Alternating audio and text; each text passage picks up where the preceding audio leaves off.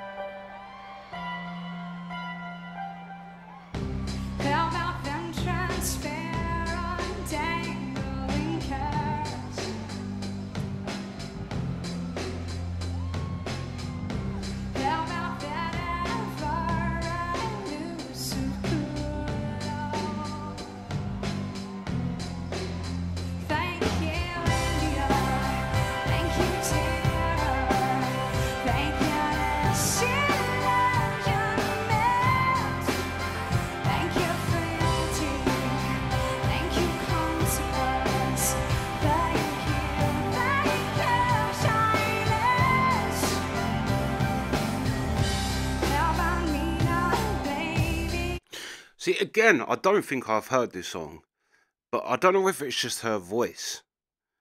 You just kind of know her voice because it, again, it sounds familiar, but I'm waiting for her to kind of do a bit I know. Do you know what I mean? But I don't think I've heard this song. Like the last two, I I had heard or did did know, but didn't know. If you know what I mean.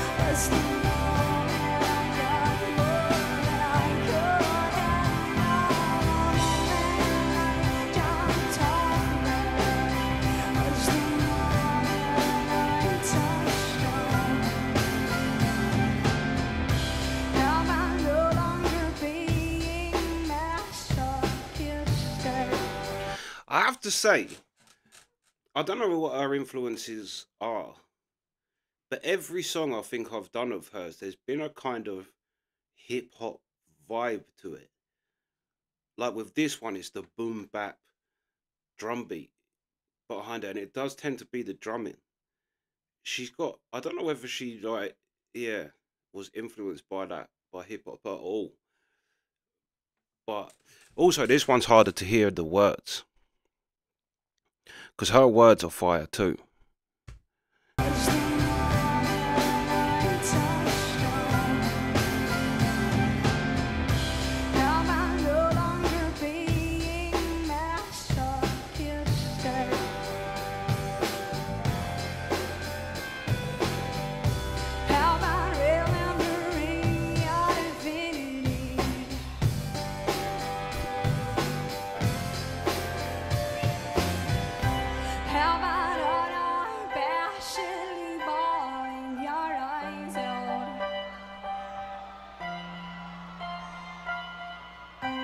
Have I not equating death with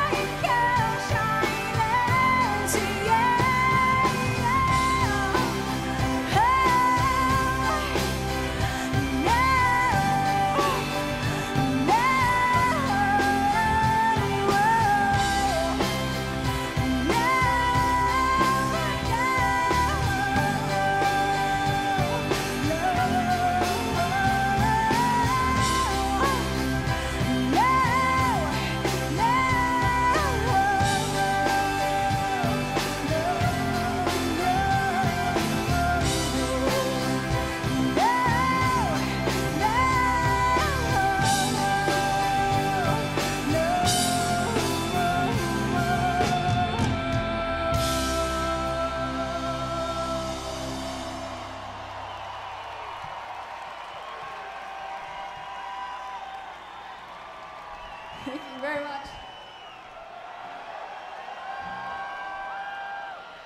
How many people are there?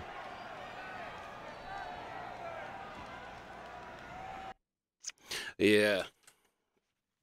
I just love her. I love her whole vibe. I love her look. Like there's just such a regular thing about her. Um but when I yeah, in that song, I was thinking there's a there's a newer art there's a newer female artist. That's what I think I was hearing.